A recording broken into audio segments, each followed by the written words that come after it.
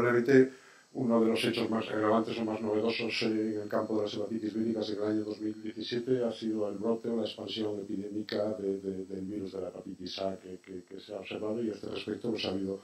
dos trabajos, uno, uno de, Barcelona, del Hospital Clínico, y otro de tres hospitales de Asturias, de Oviedo, Gijón y, Avilés, que han analizado, analizado este, este, este fenómeno. En el estudio de Barcelona analiza 71 pacientes con hepatitis aguda A diagnosticados en, el, 2017. Las características clínico-epidemiológicas de estos pacientes destacan pues, que hay un porcentaje muy importante, un 41% son, son extranjeros y uh,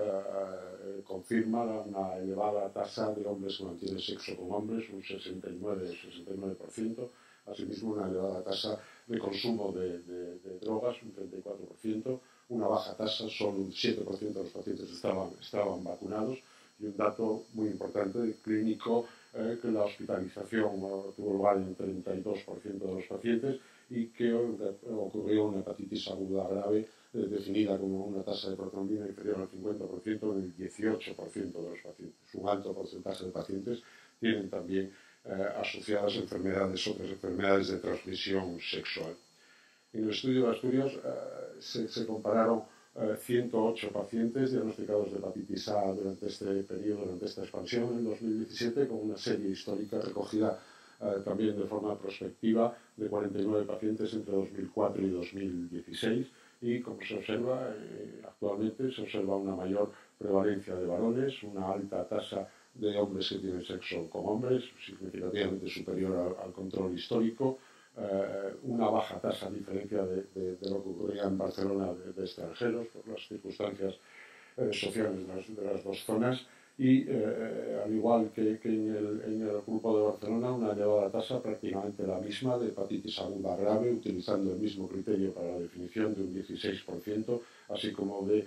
una elevada prevalencia de serología de NUES. Es decir, que eh, este brote está ocasionando, eh, ocurre fundamentalmente en hombres que tienen sexo con hombres, está ocasionando hepatitis agudas, hepatitis agudas graves y por eso la conclusión de ambos estudios es que es necesario ampliar la vacunación frente al virus de la hepatitis A, eh, en un caso incluirla, como en el caso de Asturias donde no está incluida, en los programas de vacunación infantil, en el caso de, Cataluña donde sí está incluida, incrementar la vacunación en los grupos de riesgo.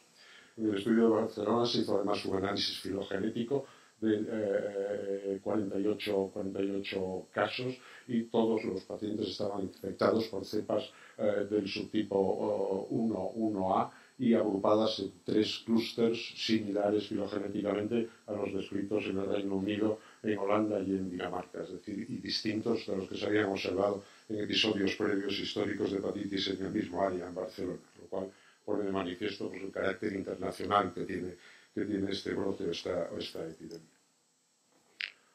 En cuanto a, las consecuencias de, la curación del virus de la hepatitis C, ha habido numerosos trabajos sobre evolución de la, de la fibrosis, del riesgo cardiovascular, de la calidad de vida, de la función renal, etc.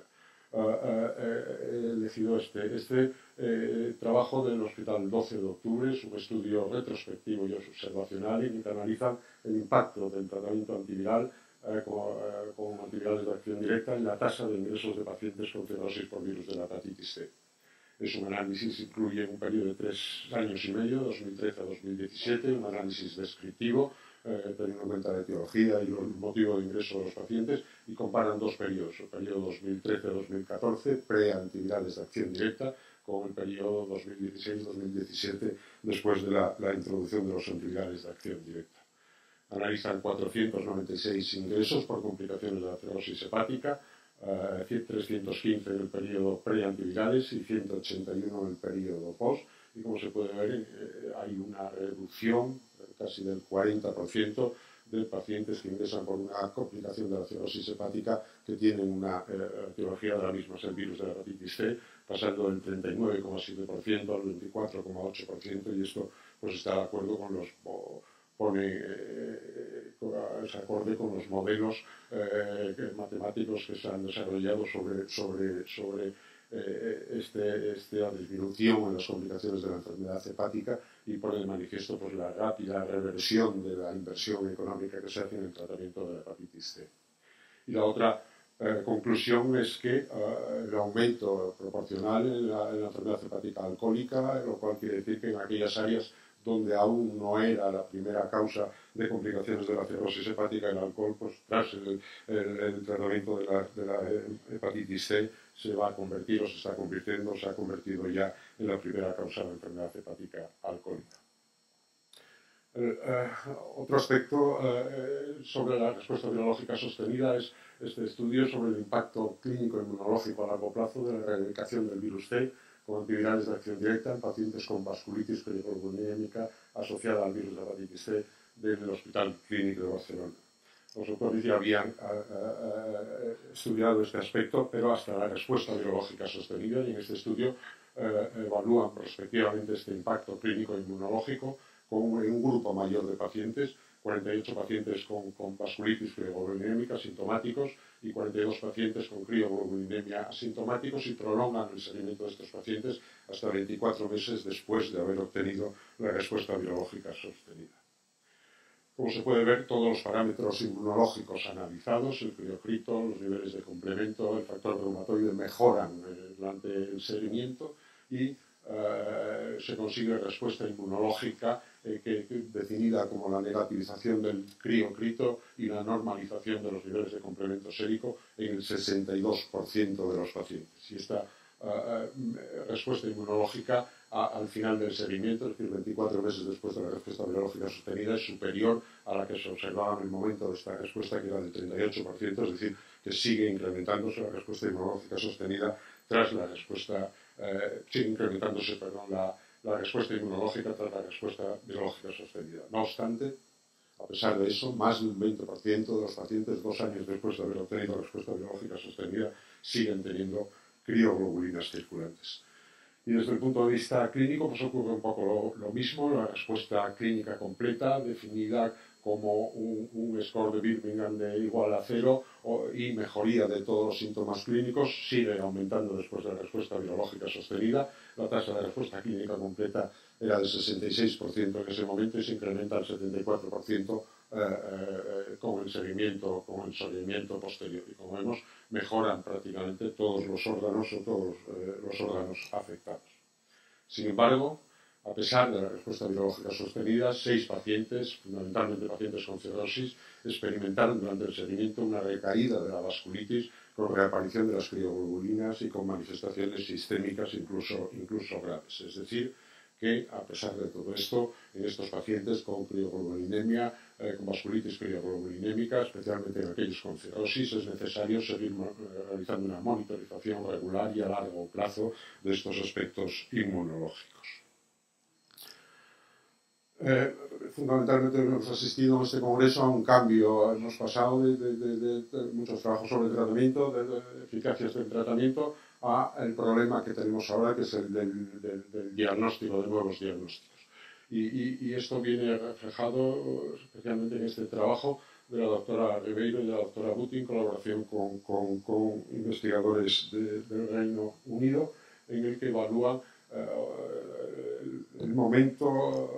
hacen un estudio, un análisis matemático, un modelo de Markov, para eh, eh, eh, predecir en qué momentos llegará al agotamiento diagnóstico de la hepatitis C en nuestro medio. Esto es un término nuevo, esto el agotamiento diagnóstico, creíamos que no íbamos a llegar a ello, pero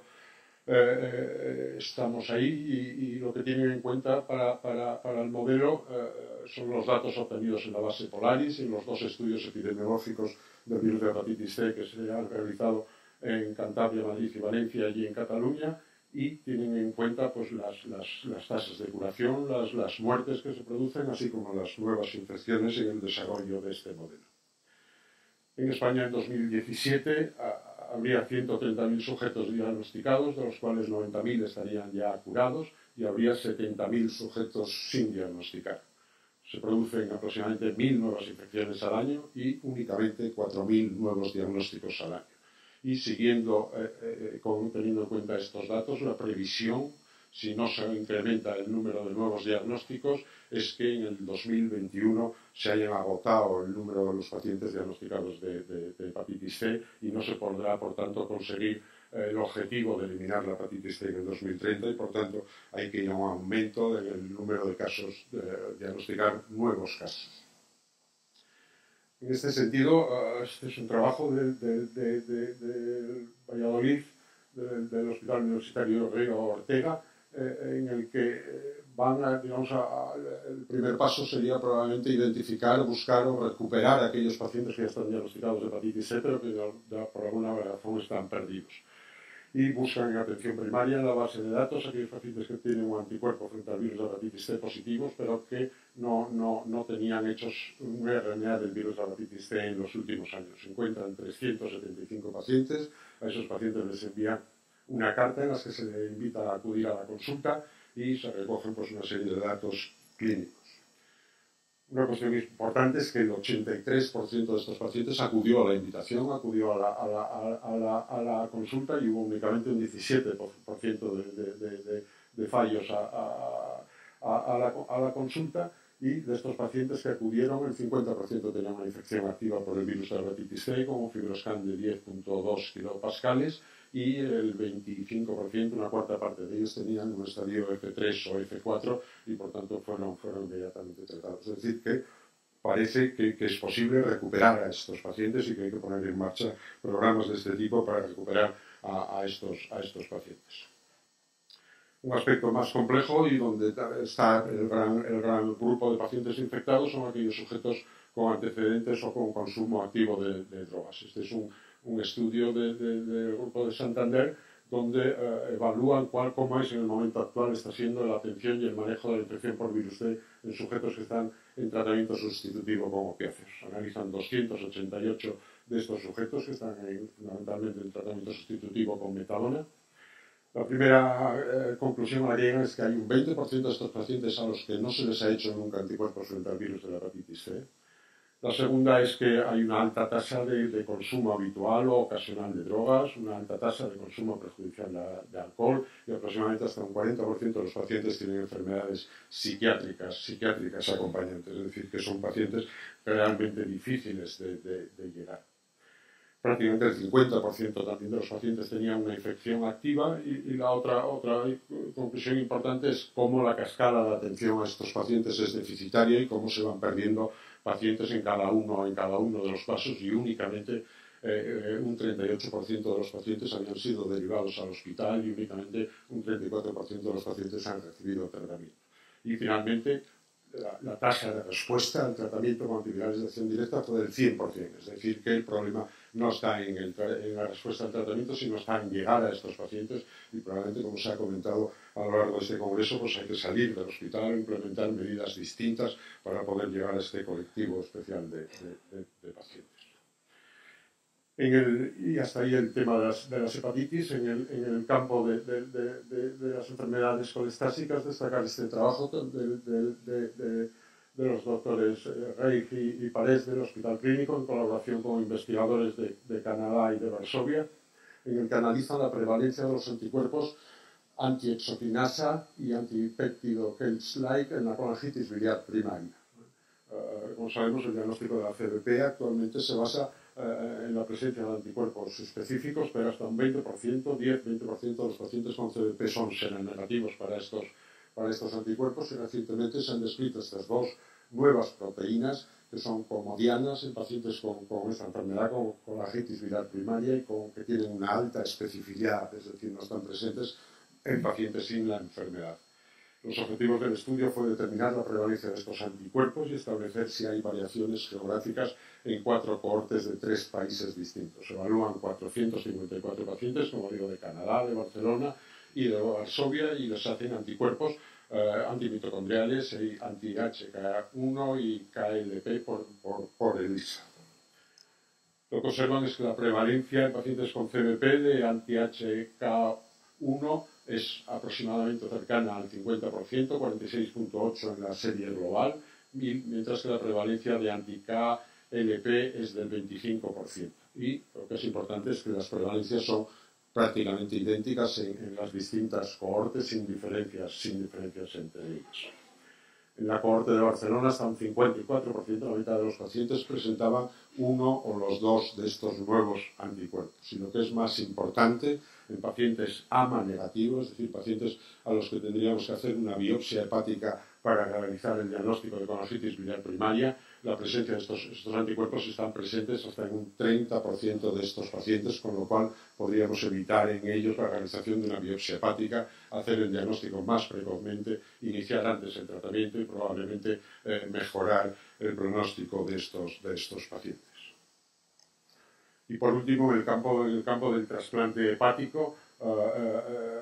este, este, trabajo del grupo de, Córdoba y de Sevilla, en el que evalúan pues, el siempre difícil tema de la inmunosupresión en el trasplante hepático. Evalúan si eh, la reducción de los niveles de tacrolimus en práctica clínica real, comparando dos combinaciones, tacrolimus con micofenolato y tacrolimus con everolimus.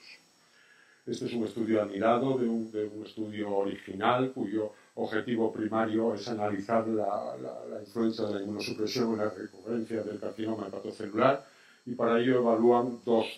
grupos de pacientes, unos controles históricos que habían recibido monoterapia con tacrolimus o tacrolimus más micofenolato, 128 pacientes entre 2000 y 2012, y una corte prospectiva en el que utilizan únicamente la combinación tacrolimus-everolimus entre 2012 y 2015 con 64 pacientes. Todos son pacientes con carcinoma hepatocelular dentro de los criterios de Milán y el objetivo en este subestudio pues, ha sido comparar si la minimización de tacrolimus en práctica clínica real en función de su combinación con everolimus o con micofenolato. Los autores ya habían publicado previamente que unos niveles de tacrolimus en el mes eh, que sigue al trasplante hepático superiores a 10 nanogramos por mililitro eh, son un, factor de riesgo para la recidiva del,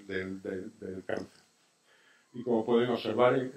comparando eh, la monoterapia con tacrolimus en la línea azul, la combinación tacrolimus-micofenolato y la combinación tacrolimus-everolimus en la línea verde, esta última combinación eh, los niveles de tacrolimus con esta combinación fueron significativamente inferiores a la combinación con micofenolato y, por supuesto, con la monoterapia con tacrolimus en todos los puntos en que fueron analizados durante los primeros 24, 24 meses. Y los autores concluyen que en práctica clínica real la combinación de verolimus asocia niveles de tacrolimus más reducidos sin que ello no se observó en este grupo de, de pacientes, a pesar de estos niveles más bajos, una mayor incidencia de rechazo por lo que no parece necesario utilizar niveles elevados de verolimus para conseguir una minimización efectiva de tacrolimus. Queda por ver si esto finalmente se traduce en una reducción en el riesgo de, recurrencia del carcinoma hepatocelular, que es el objetivo primario, primario del estudio. Y nada más, gracias.